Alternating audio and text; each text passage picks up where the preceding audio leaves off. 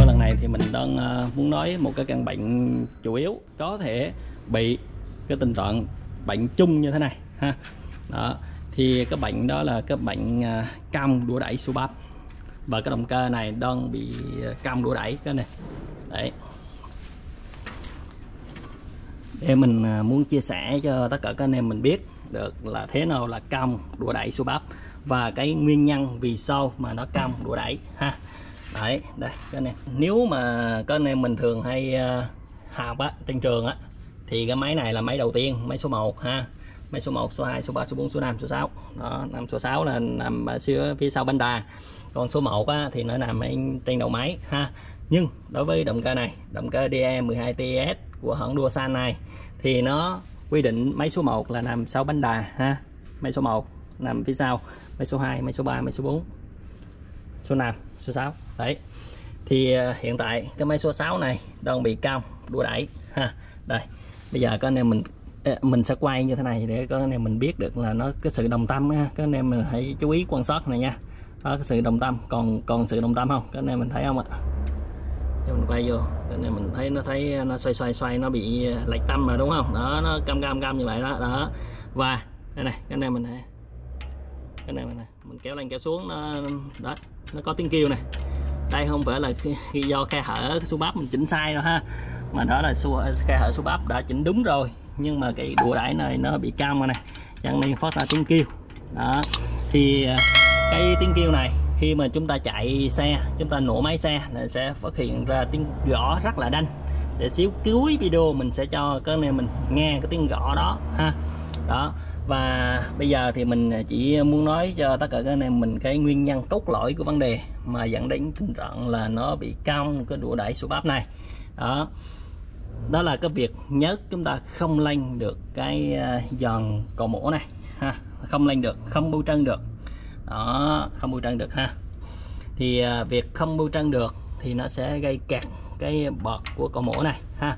Gây kẹt bọt cò mổ cốt lõi của vấn đề nữa là nó sẽ kẹt cái ống dẫn hướng của cây su bắp này, ha. Cây su bắp chúng ta nó sẽ chuyển động tịnh tiến đi lên đi xuống, ha, trong cái ống dẫn hướng.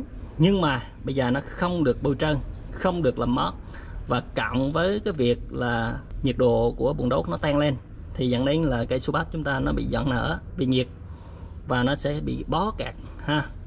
Nó bó cứng như vậy thì cái việc, cái trục com chúng ta nó đi lên ha. Đi lên nó sẽ tùy vào cái độ đẩy này. Đó. nó tùy vào độ đẩy thì cái su bắp này sẽ đi xuống, nhưng mà do nó bị cạn dẫn đến là nó sẽ, nó bị cạn nó không đẩy được, thì nó sẽ phá cái đùa đẩy này, ha. Đó. Nó sẽ làm cam của đùa đẩy của chúng ta, ha. Đó.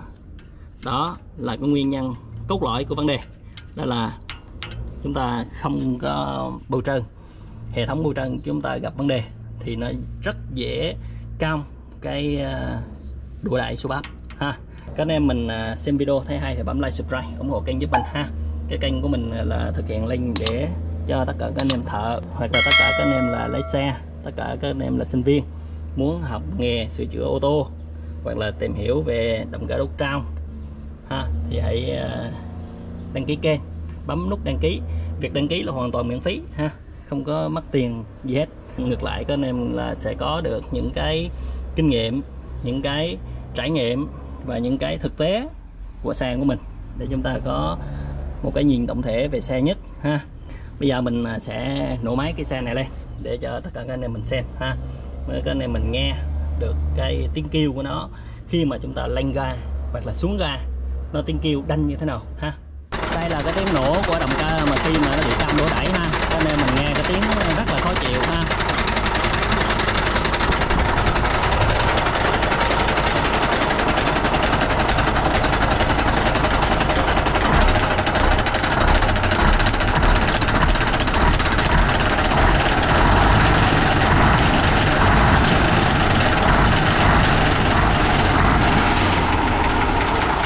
Có đem mình để không? Không có tí nhớt nào ra hay ha.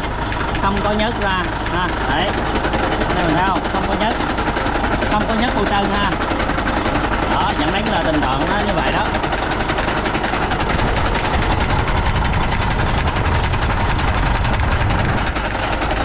đây có anh em mình thấy nhớt ở sau này có này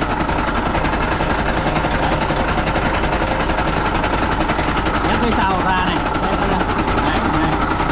nhấc ra này nhưng mà đằng trước là không ra ha. Đấy.